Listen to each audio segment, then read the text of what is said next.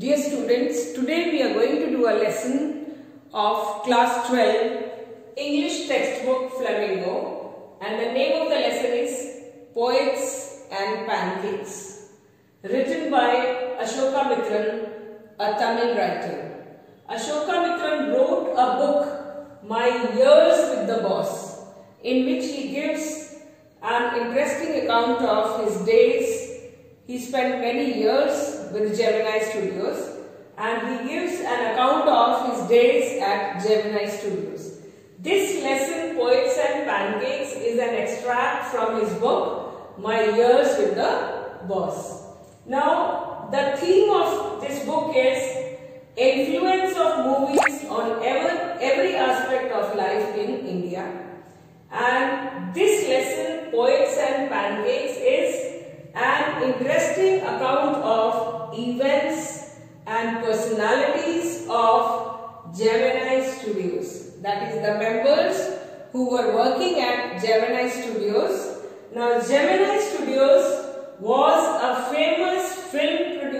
organization, a famous filmmaking company of early years of filmmaking and this Studios, Gemini Studios was set up in Chennai in 1940.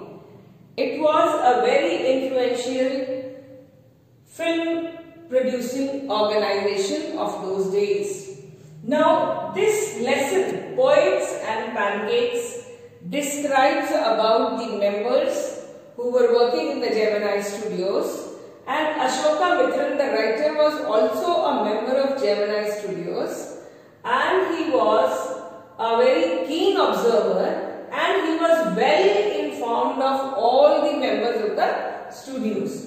Now poets here refers to the writers, script writers, story writers and lyric writers who were the members of the Gemini studios and pancakes refers to the brand name of makeup material which was used by the makeup department of Gemini Studios in truckloads that is in large quantities. In those days film in, in filmmaking most of the shooting was done indoors only 5% of the shooting was done outdoors.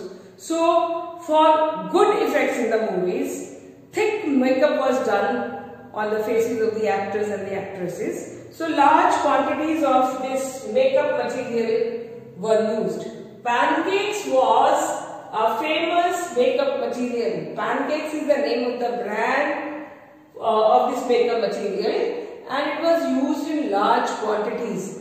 And the writer even says that with, the, with this makeup on the faces of the actors and the actresses, that is, this makeup was done on their faces to make them look ugly so that they could give good effects. It could give good effects in the movies. So, now, this, uh, uh, the writer describes about the, first of all, he gives us a description of the makeup department of the Gemini Studios. He says that the makeup department of Gemini Studios was a small and stuffy room with mirrors on all the sides and two bright lights that is incandescent lights fitted over there. And he says that the actor or the actress who was sitting on the chair getting his makeup done, he would be in a very miserable condition because of the thick layers of makeup on his face, because of two bright lights falling on his face and then these bright lights, incandescent lights would be emitting a lot of heat. So he said that the actor or the actress who was getting his makeup done would be in a very miserable condition. He describes the fiery misery of the actor or the actress who was getting his makeup done. Then he says that the makeup department was uh, example of national integration. Why? Because there was a variety of people working there. Variety of persons were the members of this department. In the beginning it was headed by a Bengali after that there was a person from Maharashtra, then there was an Anglo-Burmese, then many local Tamils, So, so many people from various states of India were working over there. So, he says that the makeup department was an example of national integration before All India Radio and Doordarshan started giving their programs on national integration. Then he says, in the makeup department there was a strict hierarchy that was followed. How? That is, the chief makeup man did the makeup of the main actor and the actress and his first assistant did the makeup of the second actor and the actress and his second assistant did the makeup of the comedians and the makeup of the crowd was the responsibility of the office boy. Now next we come to the office boy who was also working there in Gemini Studios. The office boy was not a boy, he was a man in his 40s. But when he joined the Gemini Studios, he was in his teens.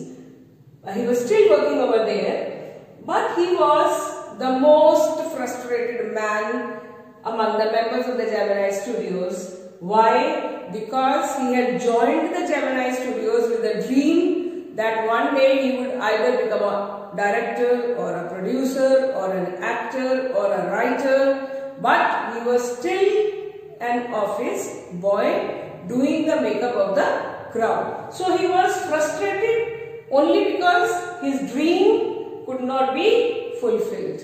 Now we come to the next member of the Gemini Studios, Ashoka Mitran. Ashoka Mitran is the writer. What was his duty in the Gemini Studios? To collect newspaper clippings and file them. And everybody thought that he had no job but he was always busy in doing his fine work and he was well informed of each member of the Gemini Studios and he was a keen observer. So Ashoka Mitran, everybody felt that he was not doing any job. Anybody who had any frustration like the office boy, they would barge into his room, barge into his cabin and they would vomit out all their frustration. Now after Ashoka Mitran, we come to the next member of the Gemini Studios, Kotamangalam Subbu. Here it is written as K. Subbu. Kotamangalam Subbu was number 2 in the Gemini Studios. He was a versatile man, a man of multiple talents. He was a Brahmin. He was lucky because he had got a job there and he was on number 2 he was a man full of ideas.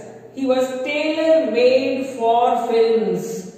And if some director did not have any idea to do a scene or to enact a particular scene, this man Subbu would come out with 14 new ideas. So he had a fertile brain. Then, Subbu himself was an actor, he was a writer, he was a poet, he was a producer, he was a director and he was always cheerful. Once he made a movie, he was a, he directed a movie, he made a produced a movie which was a flop but even then he was cheerful. Then this man Subbu because he was number two next to the boss, he was the cause of the office boy's frustrations because the office boy's anger and frustration was always directed against Subbu because he said that this Subbu was not more educated than him, Subbu was not so talented, even then he is number two because he is a Brahmin. But then whenever he, he would get a chance, he would pour out all his anger on him. So the office boy's cause of anger and frustration was Subbu, who was number 2 in the Gemini studios. Now we come to the next, the lawyer. There was one more person in the Gemini studios, the lawyer. His name was in the story writing department and his duty was, his job was to give legal advice to his to the members of the Gemini Studios. But this man, the lawyer, always did the opposite. Why? Because he never gave any wise advice to anybody. Rather, he spoilt the things and he only gave illegal advice. He would make a mess of everything by with his foolish acts.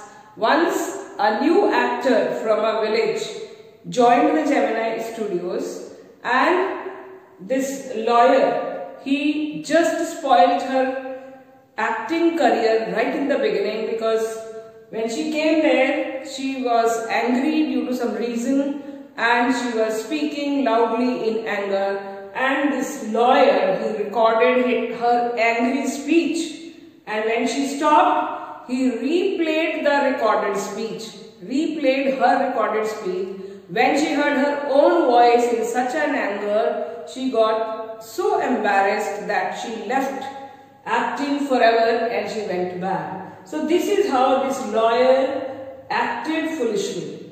Now this lawyer was also different from the other members of the Gemini studios in a way that the other members they used to wear khadi dhoti and khadi kurta. They were Gandhiites and this lawyer used to wear pant and coat and his coat was a coat of mail because full of papers. So this lawyer, the member of the Gemini Studios, although he was a lawyer but his name was in the story writing department.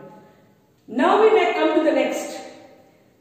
The MRA, Moral Rearmament Army that came to Gemini Studios as Gemini Studios was their host. The members of the Gemini Studios were the host because it was a movement against communism and all the members of the Gemini Studios and the boss. The boss of the Gemini Studios was S.S. Vasan.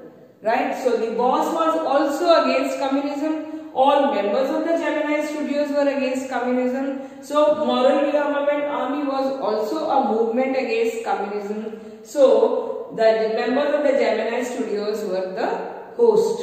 Now, what was MRA? Frank Buchman's Moral Rearmament Army was a theatre group which came there in order to put up a show of their two famous plays. Now, this was a theatre group.